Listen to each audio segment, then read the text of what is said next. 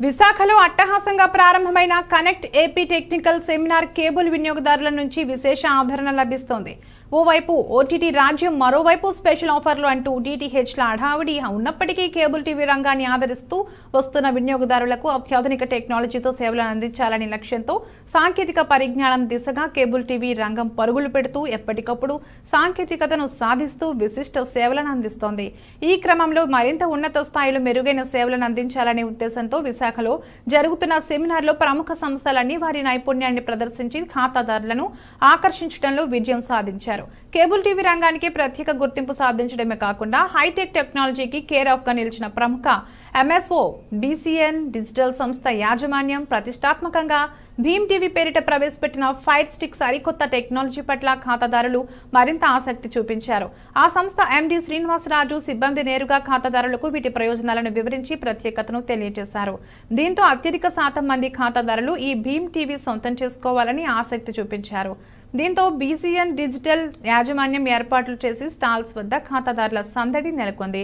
ముఖ్యంగా ఎంత ఎదిగినా ఒదిగే ఉండాలన్న సూత్రాన్ని పాటిస్తూ నేరుగా ఎండీ ఖాతాదారులకు వీటి సేవలను వివరించడం సంస్థను అభివృద్ధి చేయడంలో ఆయనకున్న చిత్తశుద్ధిని నిరూపిస్తోంది. విశాఖలో రెండు రోజుల పాటు జరిగిన కనెక్ట్ ఏపీ టెక్నికల్ సెమినార్ అదరహం అనిపించింది.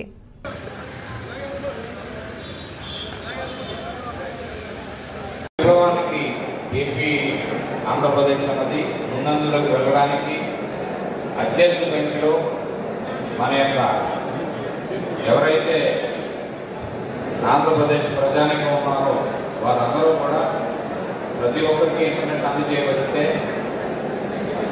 మన దేశంలోనే ఎక్కువ సంఖ్యలో ఇంటర్నెట్ వినియోగించే రాష్ట్రంగా మనం పేరుగాంచడమే కాకుండా తద్వారా ఏదైతే ఈ మనీ ఇన్ఫ్లుయెన్స్ కానివ్వండి టెక్నికల్ డెవలప్మెంట్ కానివ్వండి మన యొక్క ప్రజానికానికి మంచి భవిష్యత్తుని భవిష్యత్ భవిష్యత్తులో ఉంటుందని చెప్పేసి నేను ఆశిస్తున్నాను మెయిన్గా మేము ఇక్కడ ఈ సెమినార్ కండక్ట్ చేయడానికి దానికి సపోర్టెడ్గా ఈ ఎక్స్పో ఈ ప్రొడక్ట్స్ డిస్ప్లే లేకపోతే వాళ్ళ యొక్క ప్యాకేజెస్ ఎందుకు పెట్టామంటే ఒక అవగాహన కల్పించడానికి. అలాగే మనలో ఉన్నటువంటి మన ప్రస్తుతానికి ఒక కేబుల్ ఆపరేటర్ ఎక్కడ ఉన్నారు కేబుల్ ఆపరేటర్ భవిష్యత్తు ఏంటి? ఈ కేబుల్ ఆపరేటర్ భవిష్యత్తులో మారుతున్న టెక్నాలజీ అనుగుణంగా మన నెట్వర్క్ డెవలప్ చేసుకుంటూ వెళ్తున్నామా? లేకపోతే అప్కమింగ్ డేస్లో వస్తున్న టెక్నాలజీని అందుకోకపోతే మనం తెరమరుగు అయిపోతున్నాం అన్నది కూడా ప్రశ్నించుకోవాల్సిన ఒకసారి చూసుకోవాల్సిన అవసరం ఉంది కాబట్టి వారందరికీ కూడా ఒక వేదికగా ఈ ప్లాట్ఫామ్ కలిగజేయబడింది ఇందులో చాలామంది నిష్ణాతులు మనకి టెక్నికల్ సెమినార్లో ఒక కేబుల్ ఆపరేటర్ కేబుల్ టీవీ సర్వీసెస్తో పాటు ఇతరత్ర సర్వీసెస్ని డెవలప్ చేసుకుంటూ దీని ద్వారా ఈ ఎన్ని రకాల సర్వీసెస్ ఇచ్చి వాళ్ళ ఆదాయ వనరులను పెంపొందించుకునే ఆస్కారాలు ఉన్నాయో ఈ రెండు రోజుల టెక్నికల్ సెమినార్లో నిష్ణాతులైన వారి ద్వారా తెలియజేయబడతా ఉంటుంది. సో ప్రతి ఒక్క ఆపరేటర్ మిత్రులు లేదా టెలికాం ఇంటర్నెట్ సర్వీస్ ప్రొవైడర్లు ఎవరైతే ఉన్నారో అందరూ కూడా వాళ్ళకి బిజినెస్ ఆపర్చునిటీస్ ఎడిషనల్గా ఆల్టర్నేటివ్ బిజినెస్ ఆపర్చునిటీస్ అన్ని కూడా ఈ రెండు మూడు రోజుల్లో మనం అందించడానికి వాళ్ళకి అవగాహన కల్పించడానికి ఈ కార్యక్రమం చేపట్టడం జరిగింది. ఇవాళ రేపు జరిగే ఈ కార్యక్రమంలో ప్రతి ఒక్క ఆపరేటర్ వాళ్ళు ఇక్కడ ఉన్న నాలెడ్జ్ని గెయిన్ చేసుకుంటూ ప్రొడక్షన్ అన్నింటిని కూడా ఒకసారి చెక్ చేసుకుంటూ కొత్తగా వచ్చిన ప్రొడక్షన్ కానివ్వండి కాన్సెప్ట్ని కానివ్వండి పూర్తిగా క్షుణ్ణంగా తెలుసుకునే అవకాశం ఉంది కాబట్టి పూర్తి స్థాయిలో దీన్ని సద్వినియోగపరచుకోవాలని ఆశిస్తూ భవిష్యత్తులో కూడా మన ఆపరేటర్ల మిత్రులకు లేకపోతే ఈ కమ్యూనికేషన్ రంగంలో ఉన్నటువంటి అందరు సోదరులకి కూడా ప్రభుత్వ పరంగా కానివ్వండి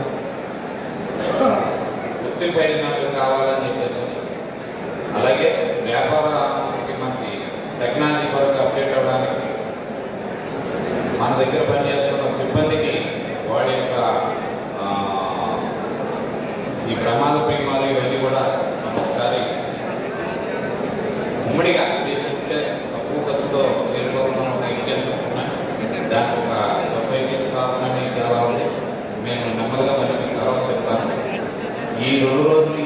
కేబుల్ రంగానికి సంబంధించినటువంటి ఎక్స్పో అనేటువంటి దాన్ని ఎగ్జిబిషన్ అనేటువంటి దాన్ని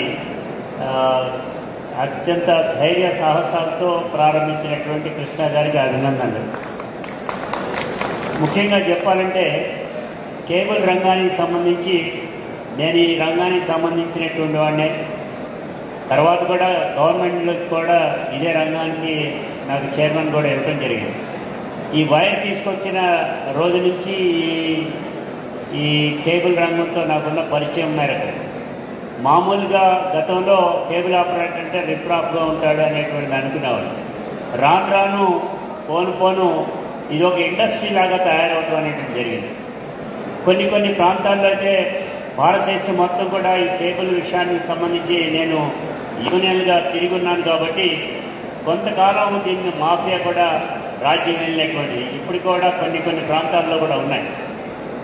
ఈ దీనికి సంబంధించినంత వరకు కూడా ఒక పాలిష్నెస్ వచ్చి ఆ పాలిష్నెస్లో ఒక ఇండస్ట్రీ లాగా మనం దీన్ని చూస్తున్నాం కాబట్టి రే రోజు రోజుకి మారుతున్నటువంటి ఈ యొక్క కేబుల్ రంగం.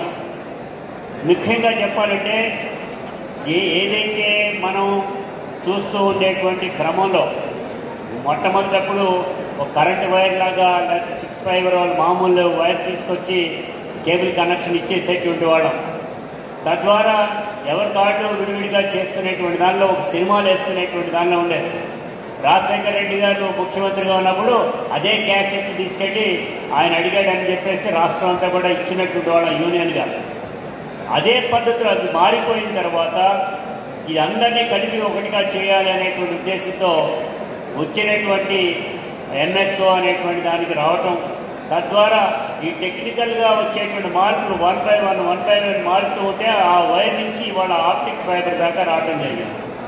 ఈ ఆప్టిక్ ఫైబర్లో కూడా ఇప్పుడు నేను ఈ ఎగ్జిబిషన్లో కనుక చూసినట్లయితే కనబడతా ఉంది. దీనిలో కూడా ఎక్కడైతే కట్ అవుతుందో ఆ కట్ అయినటువంటి ప్రదేశం మనకు అర్థం కానటువంటి పద్ధతిలో ఉంటుంది ఎక్కడ ఉందో అనేటువంటి తెలియకుండా ఉంటుంది. రెండవది ఏదైతే మ్యాపింగ్ చేస్తున్నామో ఆ మ్యాపింగ్ ఆ టెక్నీషియన్ కనుక మారినట్లయితే కొత్త టెక్నీషియన్ వచ్చినట్లయితే అది కనుక్కోవడం కూడా ఇబ్బంది అయ్యేటువంటి దాంట్లో ఉంటే నేను ఒక అద్భుతమైనటువంటి ఒక స్టాల్లో చూడటం అనేది జరిగింది. యాప్ తయారు చేసాడు